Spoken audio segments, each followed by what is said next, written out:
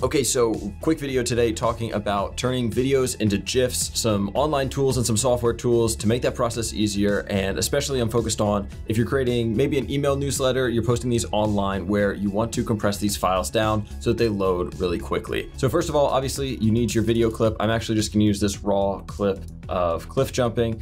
You can cut the clip down to exactly what you want the loop to be in your editing software, but the fastest way that I find to do it is actually in QuickTime Player. So I've just got to open it up in QuickTime here. I'm gonna hit Command T uh, to bring up the trim function. I'm gonna set the in and set the out, just drag in, real simple. You hit trim, and then you wanna save that clip as so we're gonna go over to ezgif. This is where we're going to first convert the file. So go ahead, click choose file, find the file that you want, click upload video. It'll chew through that real quick. You wanna be under 100 megabytes, but that shouldn't be super hard. And I'm going to go ahead and set it to the largest possible size. If you got size restrictions, you can set it right here with the size and frame rate. 10 is is fine. Um, 20 would look nicer, but 10 is going to be good because we're going to try and compress this down pretty far. So let's go ahead and click convert to GIF.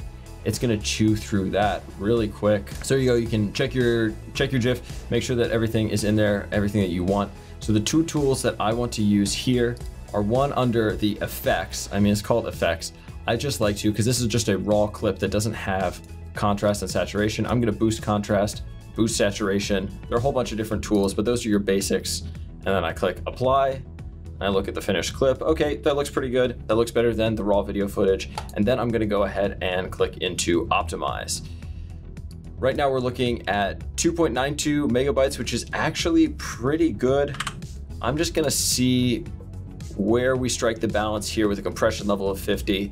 Okay, so that got us to about 50% the size. I mean, you see banding in the sky, but that's gonna happen no matter what. So I'm gonna go ahead and call 50% compression here just okay.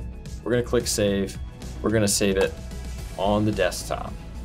Then we're gonna go over to our second tool that we're gonna use uh, from a site called Compress or Die. So we go ahead and we upload our GIF out of ezgif we're gonna upload it over here onto Compress or Die. The reason this is, is because this site offers us a lot of tools to fine tune exactly what we're gonna get out of our GIF in terms of size and in terms of color compression. So it's uploading, processing, it's gonna chew through that, and we're gonna go ahead and say, all right, I wanna turn on expert mode.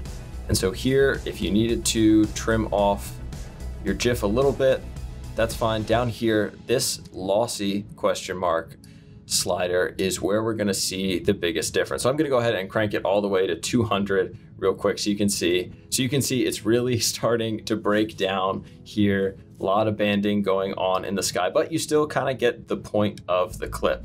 Now, for an email, you want to be somewhere around 500 kilobytes. Some people say up to one megabyte, some say less than 500, then when you go to 300 kilobytes.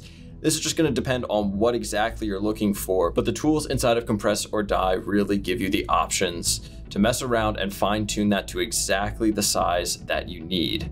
So we're going to go ahead and mess around with the number of colors that we have.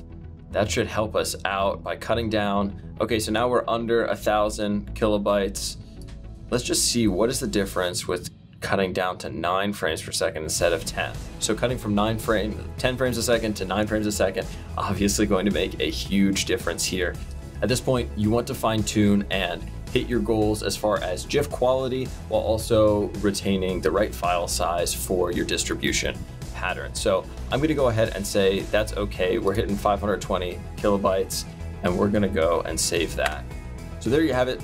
Super simple, super straightforward. These two tools are really awesome for refining down your GIFs, compressing them, and getting them ready for the web. All right, Drew, do your magic.